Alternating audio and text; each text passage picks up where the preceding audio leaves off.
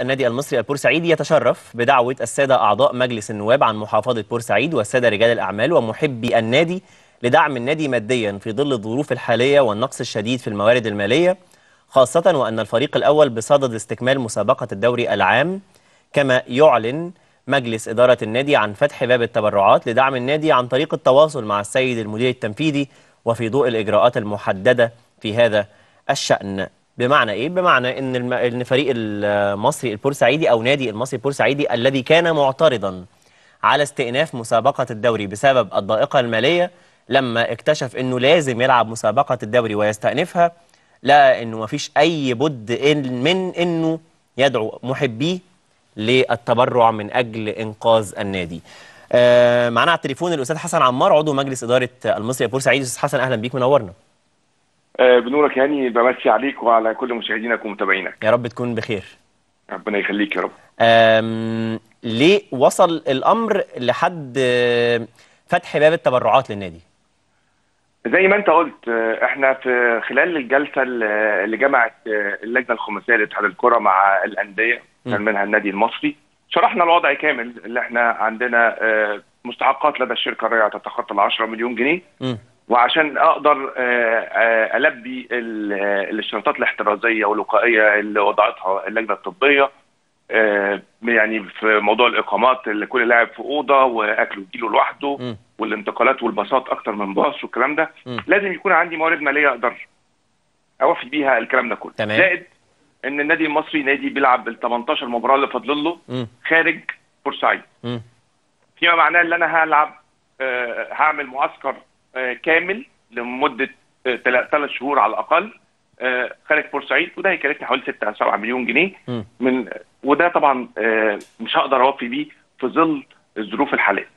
الظروف الحالية من ساعة فيروس كورونا توقف كامل الإيرادات اللي بتدخل للنادي. آه، من آه، دعم آه، سيد المحافظ من آه، مستحقاتنا لدى الشركة الراعية آه، من اشتراكات من أكاديميات آه، من آه، إيجار المحلات كل ده توقف تمام. كل الإيرادات الثابتة للنادي المصري مم. توقفت طيب أنا كنادي مصري آه، من الأندية القليلة في الدوري اللي الحمد لله قدرت توفي بمستحقاتها لكل آه، الناس الأجهزة. الفنية للعيبة للجهاز الاداري. طيب وقدرت مع في نفس الوقت أتواصل معهم الاتفاقية بخصم 50% من مستحقاتهم طوال فترة التوقف تمام لكن جينا النهارده وخلاص أنا ما- مش قادر أكمل. و... و... وناشدنا السيد الوزير عادل الغضبان محافظ بورسعيد اللي دايما آه، في ظهرنا وبيدعمنا ماديا ومعنويا. وناشدنا السيد آه، الوزير أشرف صبحي أيوه آه، إن إحنا عندنا مشاكل مادية كبيرة والمشاكل دي ما كانتش هتحصل ولا كنا هنوصل للمرحلة دي آه، لولا وجود فيروس كورونا آه. والظروف الاقتصادية المصاحبة دي. آه طيب. هل هل كان ممكن. تحصلوا على دعم بدون الدعوة لجمع التبرعات يعني ما كانش في أي موارد أخرى حتى وإن كانت مش موارد من جانب النادي لكن موارد دع- دعم غير التبرعات؟ إحنا حاولنا بكل الطرق مم. وصلنا لكل آه، يعني آه، الأطراف المرتبطة بالموضوع. زي ما قلت لك كده ست آه، المحافظ الوزير بنحاول في الفترة دي بنسرع بموضوع الاشتراكات عشان نقدر نلم أي فلوس لكن ال- المصاريف اللي علينا المتوقعة أكبر بكتير من اللي ممكن يدخل من ايرادات النادي المتوقفة بقالها فترة وهتاخد وقت عشان ترجع لطبيعتها. في نفس الوقت أنا آه، لقينا إن مثلا نادي زي أسوان ونادي طنطا أيوه آه، الوزارة واللجنة الخماسية هيتكفلوا تماما بمعسكر كامل ليهم طوال م. فترة عودة الدوري. طب آه، فين بقى العدل بين تكافؤ الفرص؟ آه، أنا أنا عن نفسي عايز أرجع ألعب في بورسعيد بس نظرا لظروف الملعب مش ع- مش قادر العب وداخل التطوير فمش هقدر العب في بورسعيد فغصب عني أنا هلعب بره. أيوه. طب هلعب إزاي؟ وأنا عندي آه، كل المصاريف اللي دي زائد مستحقات بقى الطبيعية بقى اللي هتيجي. كمستحقات جهاز فني أو لعيبة آه. كمكافئات طب الكلام ده كله هيجي منين؟ وأنا ما عنديش وعد رسمي. إمتى الشركة الراعية أيوة. هتبتدي تديني مستحقاتي؟ تمام. طيب آه سؤالين مرتبطين بنفس الأمر. ماذا لو لم تحصلوا على التبرعات اللي أنتوا عايزينها سواء من المحبين أو من رجال الأعمال؟ إيه الموقف خليني- بما إن لجأتوا من المرحلة دي لو الدم نفسه ما جابش حل هتعملوا إيه خليني أقول لك على نقطتين مهمين جدا. بورسعيد دايما غنية بأولادها ورجال أعمالها ومحبي النادي. و...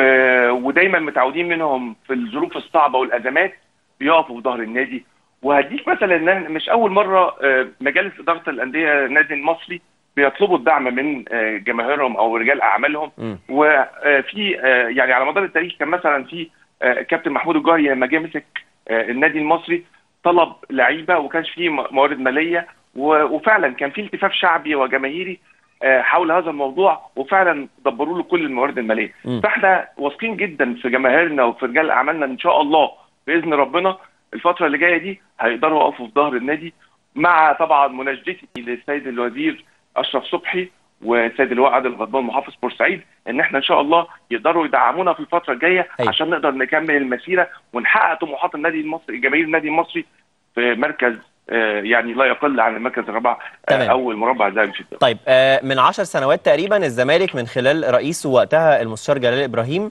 كان آه، عمل آه، خطوة شبيهة بالخطوة دي في حملة سماها وقتها ناديك يناديك بسبب ضائقة مالية بعد ما خد موافقة الوزارة آه، أو الجهة الإدارية إن هو يفتح بنك أو حساب بنكي علشان يتلقى تبرعات المحبين وقتها قطاع كبير من جمهور الزمالك آه، آه، يعني إستاء من هذه الخطوة ورآها تقليلا من آه، من نادي كبير بحجم الزمالك هل آه لقيتوا برد فعل شبيه من جمهور المصري على الخطوة اللي عملتوها النهارده؟